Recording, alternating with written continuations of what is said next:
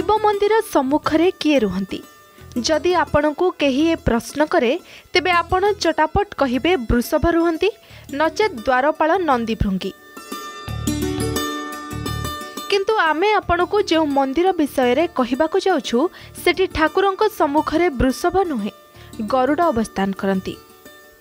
ଶିବ ମନ୍ଦିର ସମ୍ମୁଖରେ ଗରୁଡ଼ କେମିତି ଏ ବ୍ୟତିକ୍ରମ? ଆପଣ ଏହା ହିଁ ଭାବୁଥିବେ। ଶଙ୍କା ମୋଚନ କରିବାକୁ ଆମେ ଆପଣଙ୍କୁ ନେଇଯିବୁ ପଞ୍ଚସଖା ଯୁଗକୁ। ମତ ବଳରାମ ଦାସଙ୍କ ପାଖକୁ। ଯିଏ ଲକ୍ଷ୍ମୀ ପୁରାଣ ଲେଖି ଘରେ ଘରେ ପରିଚୟ ପାଇଥିଲେ। ଓଡ଼ିଆ ଜାତିକୁ ସଂସ୍କାର ଧର୍ମୀ ଜାତିଟିଏ କରି ଗଢ଼ି ତୋଳିଥିଲେ। ଲୋକ କଥା କୁହେ ଦାସେଙ୍କୁ ମିଳିଥିଲା ମହାଲକ୍ଷ୍ମୀଙ୍କ ଅଭିଶାପ। ଯାଅ ବଳରାମ ତୁମ ଭାଗ୍ୟରେ ଶ୍ରୀକ୍ଷେତ୍ର ମୃତ୍ୟୁ ନାହିଁ। କହିଥିଲେ ମା ଲକ୍ଷ୍ମୀ ସାନ୍ତାଣୀ କିନ୍ତୁ ମତ ବଳରାମ ମହାପ୍ରଭୁଙ୍କ ପରମ ଭକ୍ତ ଥିଲେ।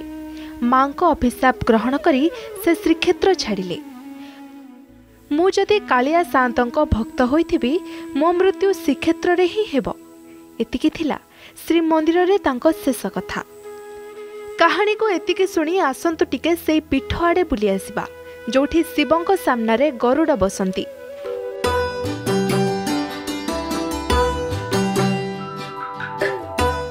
ଦିଅଙ୍କୁ ଭୋଗ ଲାଗିଲେ ଲାଗି ହୁଏ ତୁଳସୀ ଆଉ ବେଲପତ୍ର। ଲୋକଙ୍କ ଅଖଣ୍ଡ ବିଶ୍ୱାସ ଏ ଦିଅଁ ଡାକିଲେ ଓ କରନ୍ତି। ସାପ କାମୁଡ଼ା ରୋଗୀକୁ ଅଚିରେ ଭଲ କରନ୍ତି। ଦର୍ଶକ ବନ୍ଧୁ ଏ ହେଉଛି ପୁରୀ ଜିଲ୍ଲା ଗୋପ ବ୍ଲକ ଅଧୀନ ବେଦପୁର ଦକ୍ଷିଣେଶ୍ୱର ପୀଠ ଯେଉଁଠି ବଳରାମ ଦାସେ ଶ୍ରୀକ୍ଷେତ୍ରରୁ ବିତାଡ଼ିତ ହୋଇ ଆସି ନିବାସ କରୁଥିଲେ। ଆଉ ଏଇଠି ତାଙ୍କ ଦେହବସାନ ହୋଇଥିଲା। ଏହି ପୀଠଠାରୁ ଅନତି ଦୂରରେ ରହିଛି ବଳରାମଙ୍କ ସମାଧିପୀଠ। ଯେଉଁ ପ୍ରାଚୀନ ପରମ୍ପରା ଅଛି ଅନେକ ଅଞ୍ଚଳରୁ ଭକ୍ତମାନେ ମଧ୍ୟ ଏ ଅଞ୍ଚଳକୁ ଆସନ୍ତି ଏବଂ ଏଠି ଠାକୁରଙ୍କୁ ଡାକିଲେ ଠାକୁର ଓ କରନ୍ତି। ଏ ଲୋକଙ୍କର ବିଶ୍ୱାସ ଅଛି। ମୃତ୍ୟୁ ପାଖେଇ ଆସିଛି। ଦାସେ ଜାଣିଲେଣି କିଛି କ୍ଷଣର ଜୀବନ ମୋ ଦେହରେ ବାକି ଅଛି। କାଳିଆ ଶାନ୍ତିଙ୍କୁ ମନେ ମନେ ଡାକିଲେ। ଭାବଗ୍ରାହୀ ଜଗନ୍ନାଥ ଭକ୍ତର ଡାକ ଶୁଣି ଲକ୍ଷ୍ମୀଙ୍କୁ ସାଥିରେ ଧରି ଏଇଠି ପହଞ୍ଚିଲେ। ଯେଉଁଠି ମୃତ୍ୟୁ ସହ ଲଢ଼ୁଥିଲେ ବଳରାମ ଦାସ। ମା ଲକ୍ଷ୍ମୀଙ୍କୁ ପ୍ରଣିପାତ କଲେ ଦାସେ। ମା କାନ୍ଦି ପକାଇଲେ। ଦାସେ କହିଲେ ତୁମେ ଦୁହେଁ ଯେଉଁଠି ସେଇଠି ମୋ ଶ୍ରୀକ୍ଷେତ୍ର। ମୋ ମୃତ୍ୟୁ ଶ୍ରୀକ୍ଷେତ୍ରରେ ହିଁ ହେଲା। ମା ତୁମେ ହାରିଗଲ। ଏହି ଘଟଣାର ପ୍ରତ୍ୟକ୍ଷ ସାକ୍ଷୀ ଥିଲେ ପ୍ରଭୁ ଦକ୍ଷିଣେଶ୍ୱର। ଘଟଣା ସ୍ମୃତି ଚିହ୍ନ ରଖିବାକୁ ହରିହର ଭେଟ୍ର ସ୍ମାରକୀ ଭାବେ ଏଠି ଦକ୍ଷିଣେଶ୍ୱରଙ୍କ ସମ୍ମୁଖରେ ସ୍ଥାପିତ ହେଲେ ଗରୁଡ଼ଙ୍କ ମୂର୍ତ୍ତି। ସେବେଠୁ ଆଜି ଯାଏଁ ବଳରାମ ଦାସଙ୍କ ସ୍ମୃତିରେ ଏହି ଶିବ ମନ୍ଦିରରେ ଠାକୁରଙ୍କ ସମ୍ମୁଖରେ ରହିଛି ଗରୁଡ଼ଙ୍କ ପ୍ରତିମା। ଦକ୍ଷିଣେଶ୍ୱର ହେଉଛି ଏକ ପ୍ରାଚୀନ ଶୈବପୀଠ ଯିଏକି ପୂର୍ବେ ଭଇଁଚୀନାଥ ରୂପେ ବିରାଜମାନ ଥିଲେ ସେ କାଳକ୍ରମେ ଦକ୍ଷିଣେଶ୍ୱର ହେଲେ।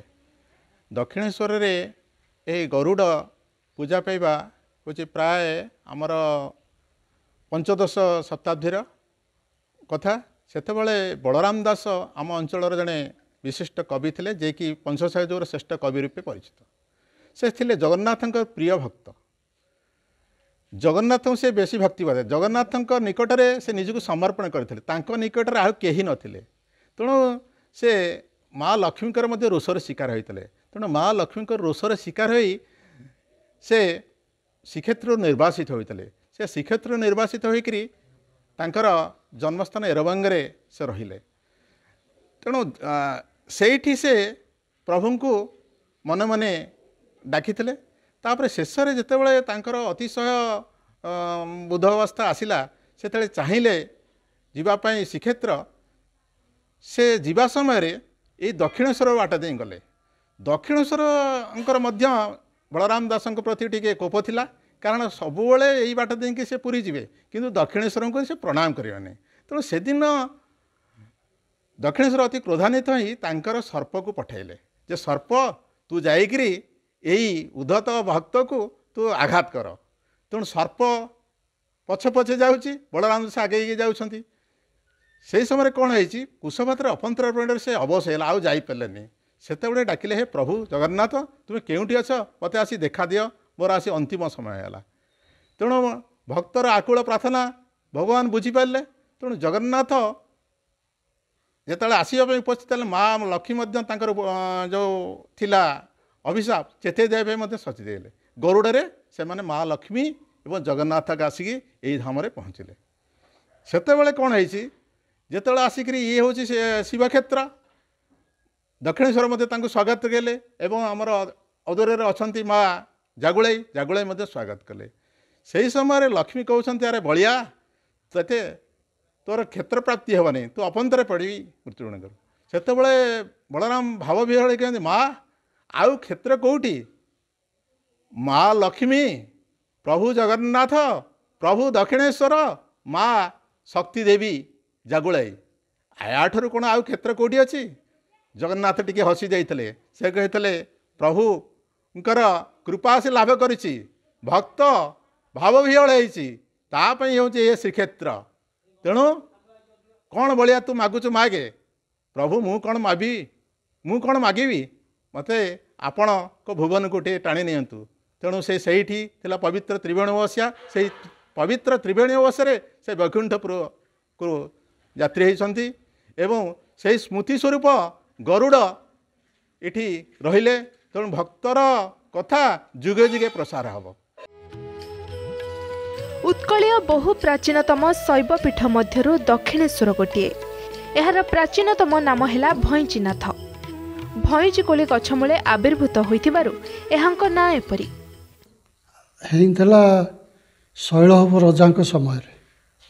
ଯେଉଁଟାକି ଆମର ଆର୍କୋଲୋଜି ବାଲା ଆସିକିରି ତାଙ୍କର ଅନୁସନ୍ଧାନ କରି କହିଥିଲେ ଯେ କୋଣାର୍କ ମନ୍ଦିରଠୁ ତେରଶହ ବର୍ଷ ପୂର୍ବ। ତେଣୁ ବହୁ ଅନୁସନ୍ଧାନ ପରେ ଜଣାପଡ଼ିଲା ଯେ ଗଙ୍ଗବଂଶଙ୍କ ପରେ କେଶରୀ ବଂଶ କେଶରୀ ବଂଶଙ୍କ ପରେ ଭୌମକର ରଜାମାନେ ରାଜୁତି କରୁଥିଲେ ଓଡ଼ିଶାରେ। ଭୌମକର ରଜାଙ୍କ ପୂର୍ବରୁ ଉଁ, ଶୈଳଭ ରଜାମାନେ ରାଜୁତି କରୁଥିଲେ। ସେହି ସମୟର ସେମାନେ ଶିବ ଭକ୍ତ ଥିଲେ ସେଇମାନେ ହିଁ ଦେଉଳ ତୋଳେଇଥିବାର କରାଯାଏ। ଏହା ଗୋପଠାରୁ ମାତ୍ର ତିନି କିଲୋମିଟର ପରେ କୋଣାର୍କ ଅଭିମୁଖେ ଯିବା ବାଟରେ ବେଗୁନିଆ ଛକ।